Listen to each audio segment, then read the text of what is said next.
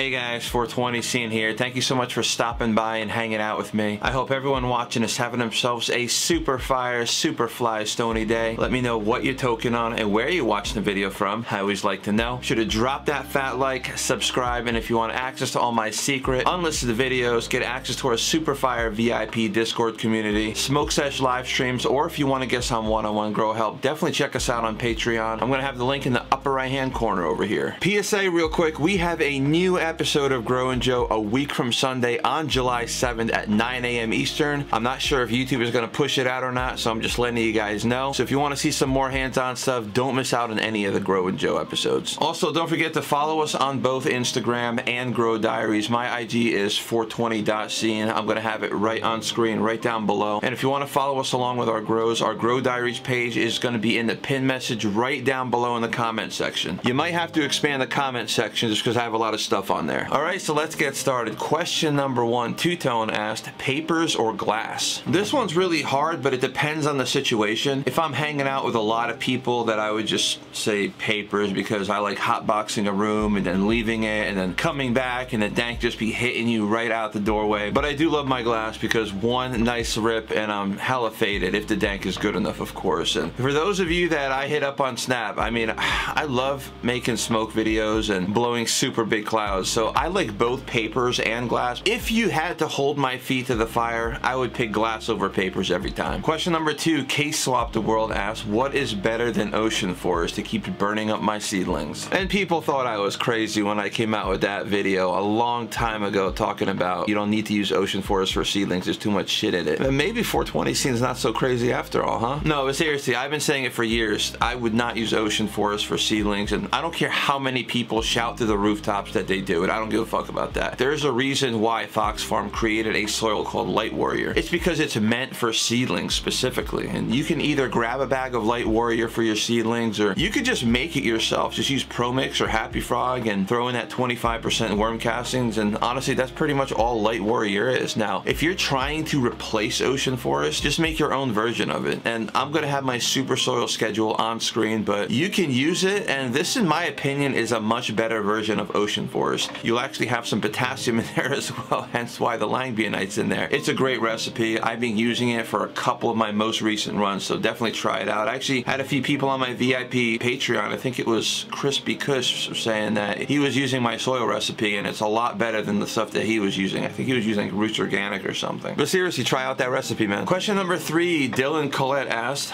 on my second run, and each time I'm getting yellowing at the tips of the leaves. Both were in a 4x4 with a VS 4000 light. First time I used general hydroponic nutrients. This time I'm using grow dots. What would be causing the yellow tip leaves? Now, without looking at your ladies, I can tell you that you most likely have nutrient burn. That's what the yellowing burnt tips are. Stuff like general hydroponics nutrient line, it's very concentrated and I know a lot of hydro runners love it, but they focus on ppms. So it's very hard to not go overboard because that shit is just extremely easy to get nutrient burn with if you're not careful with it or if you're just trying to eyeball it. And I'm gonna be honest, I don't know a crazy amount about grow dots. Honestly, I only use Scotty's Recharge, but if you're trying to avoid the yellowing tips, I would try to focus more on the organic side of gardening because it's just a lot harder to get nutrient burn running organically. And I'm not gonna sit here and tell you that it doesn't happen, like if you're running organically. But yellowing tips is not what I would consider high priority. I mean, if it's just a little bit of burn on the tips, it's not really a big deal. And it's just your ladies telling you to kind of chill the fuck out with the nutrition a little bit. It's a warning from them. Now, if you're dead set on going with grow dots, I would do a little bit of research on it or watch somebody that uses grow dots or bro, dude, just hit up the dude grows. I mean, it's their shit, right? I feel like nobody would be better to ask than to ask Scotty. Question number four, Sheila asked, when is the best time to harvest your ladies? Me personally, I wait until the trikes are mostly milky white with a touch of amber. Now, if you see a few clear trikes, it's not a big deal. It is normal, but if I had to ratio it out, I would like it to be maybe 80% milky white, 15% amber, and 5% clear. Now, when your trikes reach that ratio, they're done. Question number five, Casey Dill asks, what's the best drying process? Should I trim most of the leaves the night before harvest, or should I harvest and dry, then trim? Also, good humidity for drying and how many days until I should check them to be dry. The way I do it is I'll chop and then I'll hang the entire plant and I'll make sure to keep my humidity between 50% and 60%. Now, preferably, I like to shoot between 55% and 60%, but if you're you're within the 50% and 60% range, you'll be perfectly fine. Now, usually I'm drying around 60%. Like if I'm drying 60%, it takes about 11 to 14 days for them to be done. If your humidity is around 55%, it usually takes me maybe like 9 to 12 days. And if you're drying at 50%, it's usually done in about maybe 7 or 8 days, give or take. Also, make sure to have an oscillating fan when you're drying, so that way you get a nice even dry. Always shoot for about 60% because the longer dry it's going to be more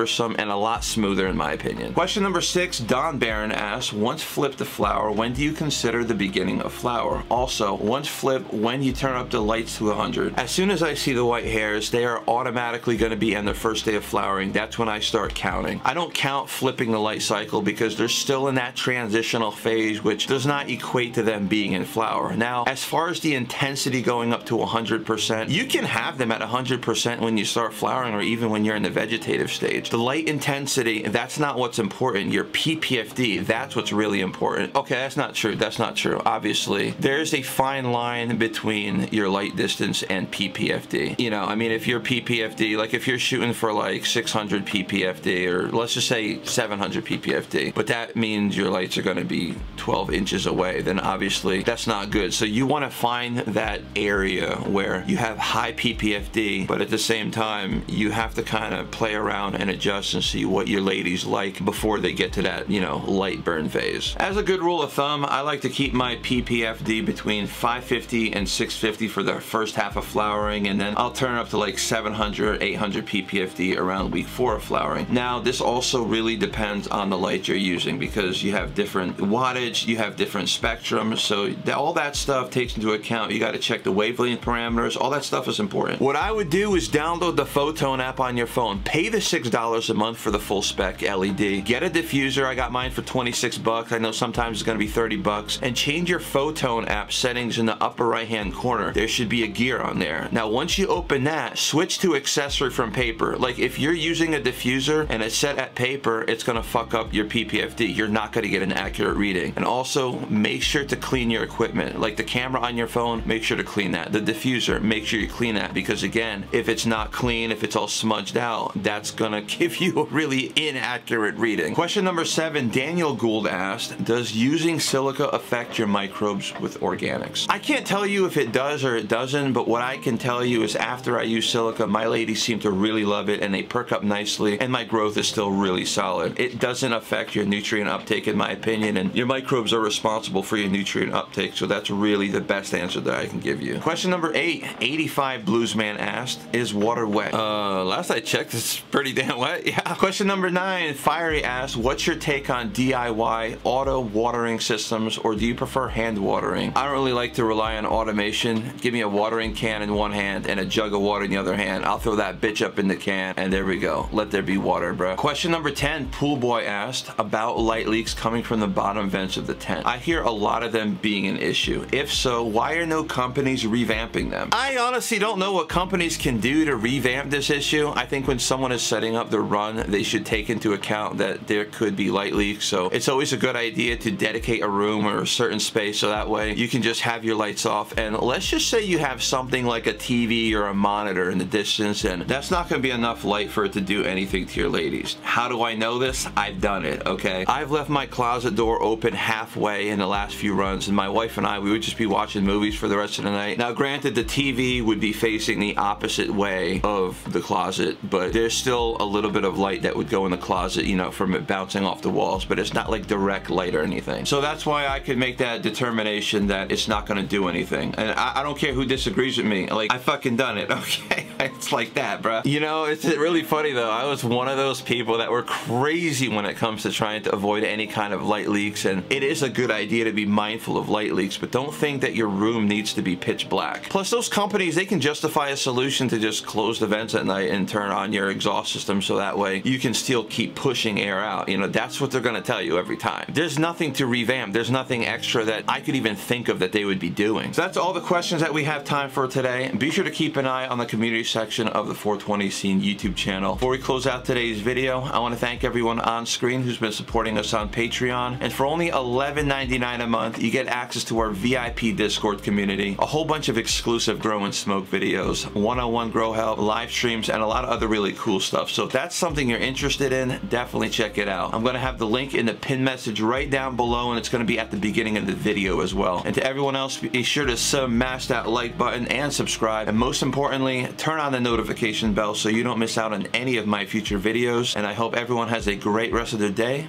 And as always, stay safe. Peace.